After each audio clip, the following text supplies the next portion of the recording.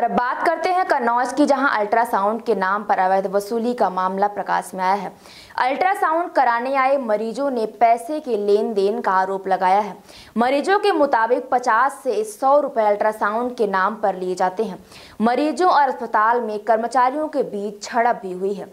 यह पूरा मामला छिबरामो स्थित सैया अस्पताल का है। वहीं अवैध वसूली का मामला सीएमएस के संज्ञान में नहीं है। हमारा नाम यशोदा।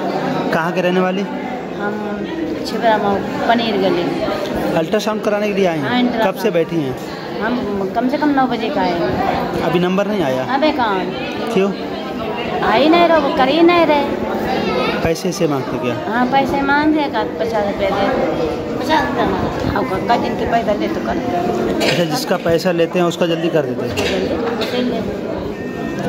और जो पैसा नहीं देता उसका लेट करते हैं? उसको ले का बैठे तो आए बजे पैसे सौ रुपये ले सौ रुपये हाँ जल्दी अगर कराओ तो सौ रुपये लेते हैं और ना जल्दी कराओ टाइम से दो तीन घंटे लगते हैं तो ऐसे भी यानी जल्दी नंबर लगाने के लिए सौ रुपये लिए जाते हैं। कहाँ से आए हैं आप?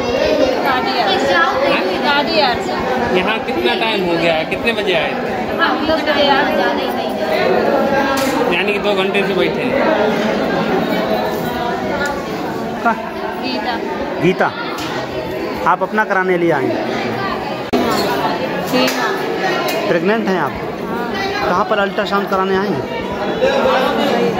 कितनी देर से बैठी हैं आप? नंबर नहीं आया। क्यों नहीं आया अभी तक? जिस जिसके पैसे ले रहे हैं उसका कर रहे हैं अंदर क्या? है। बगैर पैसे वाले नहीं कर रहे जल्दी। कहाँ से आए कहाँ से आप? सर मेरा नाम कौशल यादव है। यहाँ पर अल्ट्रासाउंड कितने रुपए लिए जा रहे हैं? यहाँ पर अल्ट्रासाउंड जो हो रहा है यहाँ पर ठगाई चल रही है। भाजपा सरकार का अड्डा बन गया सोचरिया संयुक्त छिबरामुख हॉस्पिटल जो है जो माननीय राष्ट्रीय अध्यक्ष श्री अखिलेश यादव जी द्वारा बनाया गया था यहाँ पर ठगाई चल रही है। यहाँ पर अल्ट्रासाउंड सौ रुपये पचास रुपये लिए जा रहे हैं। हैं भैया एक उनके जी जी सुनील मिश्रा जी, जी द्वारा लिए जा रहे हैं। ज- जल्दी आने के कारण बस वो जैसे नंबर किसी का है नहीं तो अपना नंबर लगाने के लिए सौ पचास रुपये ले लेते हैं तो दूसरे का नंबर लगा देते हैं। काफ़ी भीड़ लगी हुई है।